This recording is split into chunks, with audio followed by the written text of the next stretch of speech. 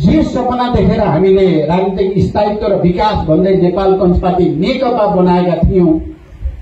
र केपी ओलीलाई मेरै प्रस्तावमा प्रधानमन्त्री बनाइएको थियो।